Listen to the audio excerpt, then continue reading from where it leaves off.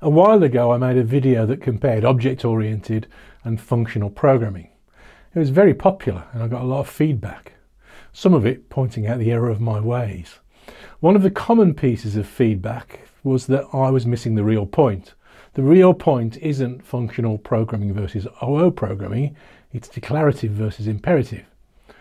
These are two very different ways of programming. Or are they really? Is this a difference in paradigm or just about syntactic sugar?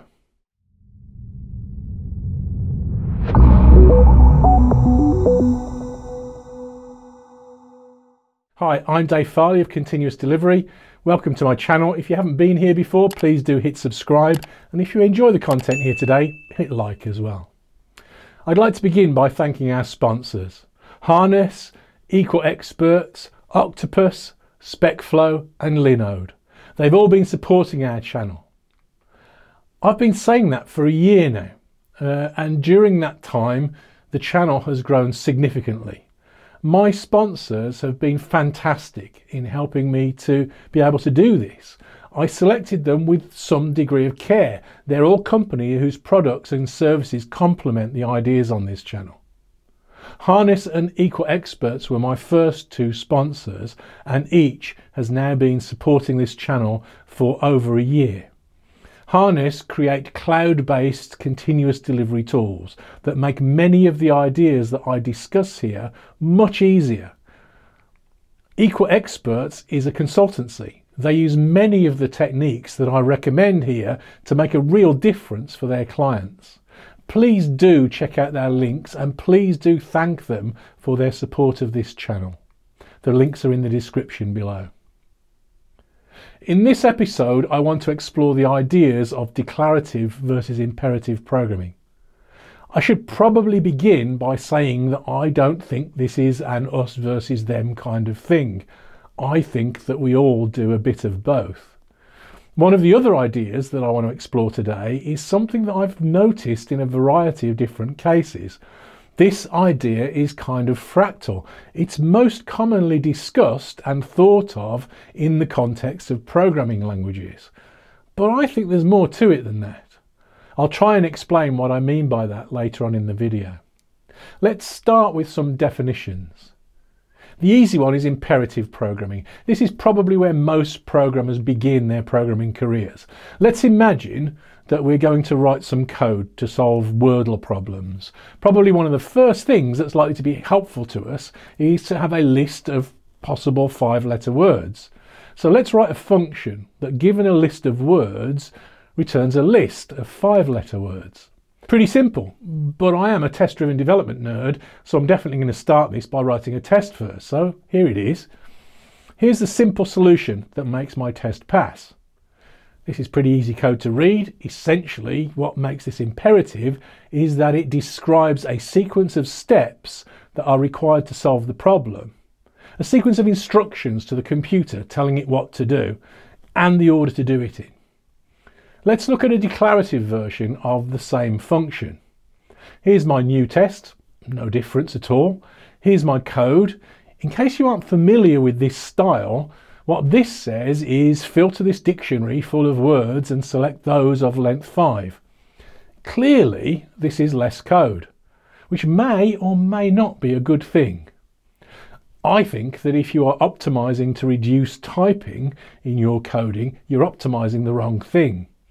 Less typing is certainly good, but not if it comes at the cost of clarity. Software is meant to communicate to other people first, and only to computers after that. I prefer to optimize to reduce thinking rather than to reduce typing. Which means that it's not the characters that I'm really counting the cost of. It's something trickier to enumerate. It's more to do with the cognitive load. How hard does this code make me think? In both of these cases, the cognitive load is pretty low. I've spent the majority of my career working in languages that other people would certainly describe as imperative, so I certainly have a bias.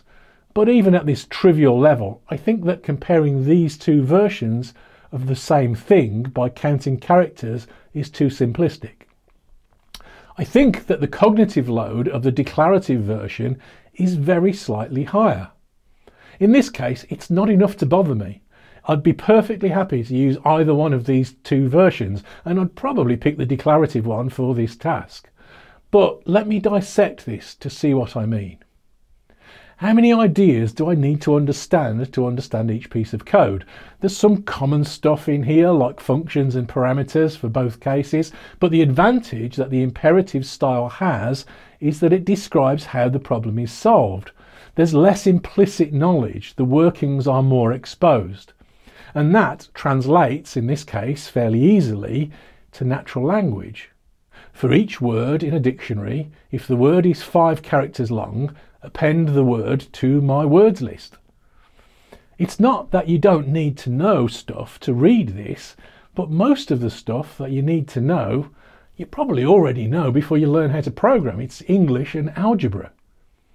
I'd argue that the idea of a lambda, a small anonymous function, is a more complex idea to grasp. It's not insurmountable, but it's not what you learn on day one of your programming course either. The cognitive load for lambdas is just a little bit higher. You can certainly do the same exercise, and if you know to ignore the word lambda, in other languages, odds constructs involving stuff that looks a bit like an arrow, perhaps, it reads pretty well. But I had to add more words to make it read sensibly here. So that is tacit knowledge that I'm adding to my interpretation of this code. So it seems just a tiny bit more cryptic to me. It's a quirk of Python, but I was certainly pleased that I wrote a test first when I wrote this code, because when I did write it, the first time I ran my test, it failed. That's because I forgot that what I got from a filter was an iterator, not a list. So, I, so to make my code work, I had to surround the filter with a list. Again, not a very big deal, but it's also not transparently obvious. I realised my mistake as soon as the test failed, but that's another little, not necessarily obvious bit of syntax. Another tiny little tick up in the cognitive load. You may argue, and you are probably right, that this is just reflecting my bias from years of imperative programming, but I think that there is a bit more to it than that.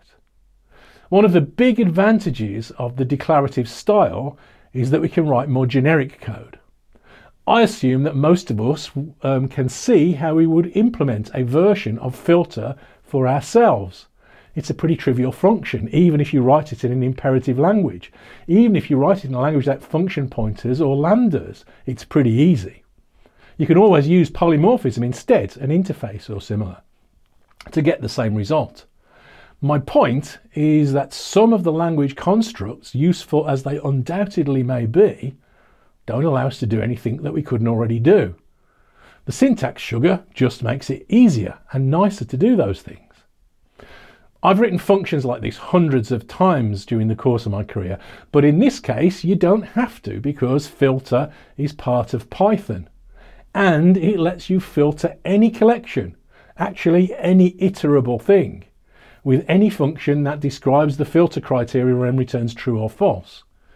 Once you've learned the concepts, the additional cognitive load is not really noticeable. And it's extremely flexible and works in a lot of circumstances. I have no problem at all with the value of language features like filter. My reservation is that I get a little bit more nervous when declarative systems get lots more complex than this. There's a cost to abstraction and generality everything in software is a trade-off after all and the risk in over abstracting or over generalizing things is a lack of clarity because things are so abstract. Just to make my point, these language constructs are completely general, but they don't tell you anything at all about what I'm doing. There's another problem here though, and this is more nuanced. The definitions we use for imperative or declarative aren't actually very precise. Wikipedia defines declarative languages in part like this. They express the logic of a computation without describing its control flow. So filter describes what we want without saying how we get it. Cool. But hang on, doesn't append in the imperative version do the same thing? We don't know and don't care how the append happens. We only know that when it's finished appending, The thing we appended is just at the end of the list. When filter has finished filtering, we know that we have a list of things that match the criteria we set. How is this any different? The definition of imperative programming says this. It uses statements that change a program's state. Aha! I hear all the functional programmers cry in the back row. Our code is immutable. Well, sure, your functions may be, but your program isn't. After the filter, the state of my program has changed. I now have a list of five letter words that I didn't have before. So no difference here either. At the level of programming language, I'm not convinced that the differences are as big as we make them out to be. There are differences and different programming paradigms can help us to think about problems in different ways. But I'm an old school assembler programmer and it all turns out into opcodes in numbers in registers in the end. I was a bit sneaky in setting up my examples though. There is an aspect of declarative programming that I use all of the time. Declarative programming is completely central to the way that I write code, whatever the language that I'm writing it in. But for me, the value is less about language constructs. My version of declarative programming is at a different level of abstraction, really. I began my examples with some tests. Here they are again. They are the same. They are identical, except for the name of the function being tested. I could easily abstract that and use the same test for both cases if I wanted to. The important differentiator between imperative and declarative for me is that I aim to declare the outcomes that I expect my code to deliver rather than the algorithms that will give me those outcomes. This is at the heart of how I practice test-driven development, but it also deeply informs how I write other code too. I want my code to clearly express its objectives as far as I'm able to achieve that. My code is usually pretty easy to read in small pieces because it describes the outcomes that it's seeking. I wouldn't really call a method declarative words. It'd probably be something like five letter words. That's declaring an outcome. My preferred approach to software development is to drive it from executable specifications. We start any new piece of work by thinking of an example that demonstrates that the new feature that we want exists and then we create an automated test to verify that example. This is our executable specification. We then develop our code until this test passes. By far the best way to do this is to focus only on the outcome and completely ignore the implementation detail when we're trying to construct these examples and tests. We declare the desirable behavior of our system and just like the filter example, our declaration, our specification here is generic. It says nothing about how the system works. It defines what we want without saying anything about how we get it. In fact, my goal in how I design my code is always to hide implementation detail at every level until the implementation detail is so simple that it's obvious what's going on. This, I think, is the real value of a declarative approach. It can come at, at a cost. In a declarative language, the layers of code that infer the solution may be more complex. Not always, but maybe. But the definition is pretty much always more generic. I think that this value has relatively little to do with the programming languages though, and much more to do with design. If you'll forgive me for talking about my own history briefly, I have an example that I think is relevant. In the early 1990s, I worked for a research company called Integrated Object Systems. We were developing a product called NUI, which stood for New World Infrastructure. The ambitious idea then was to demonstrate what programming would look like in the far future of the year 2000 and make products that made that a reality. This was based on something that we called cooperative business objects, which could communicate via messaging. Um, based on something that we called SDS for Semantic Data Service, which predated XML and JSON but was conceptually the same. Tagged, arbitrarily structured data, but with some simple rules for the structuring. These days, what we call cooperative business objects would probably be called microservices. They were independently deployable and isolated from one another. But we also defined a simple but very generic protocol for the messages.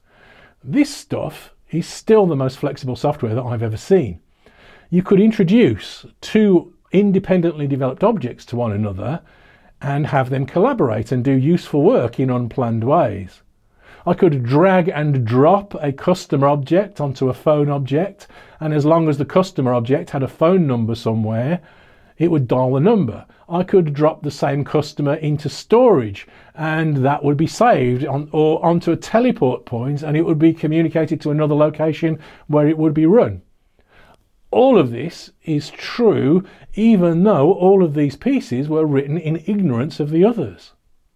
This was possible because the protocol and messaging was wholly declarative. This was so flexible that you could even build systems without writing any code. I built a system that would query a cooperative business object for its contents and then automatically generate a simple user interface to view and interact with that object. The declarative model provided enough structure to allow this kind of standardization. Whatever the nature of the object, we could do some basic useful work with it. I think this is where declarative systems really shine. They are often slower and debugging them can be complicated because there's a lot going on under the covers that you probably need to understand when things start to go wrong. I'm not really sure that I'm very convinced by the idea that the programming model in declarative languages is simpler for real world levels of complexity. It may be, but that isn't my impression looking at the code bases that are more complex than the simple kinds of examples that I've used here. But it does allow us to build and think at higher levels of abstraction, and that can have real value. I think that in this debate, my problem is that ultimately I am more of a design guy than a language guy. I think that the shapes that we cut with our software are much more important than the languages that we use to cut them. I've worked on projects that built advanced OO systems in COBOL and the fairly advanced declarative system that was NUI was built in C. Actually, both of these were different implementations of the same system. Language matters less than design for me. And many of the concepts that we often argue about in terms of language are really just different patterns of use, different designs that you can apply in any language. After all, they're all general purpose languages in the end. Thank you very much for watching.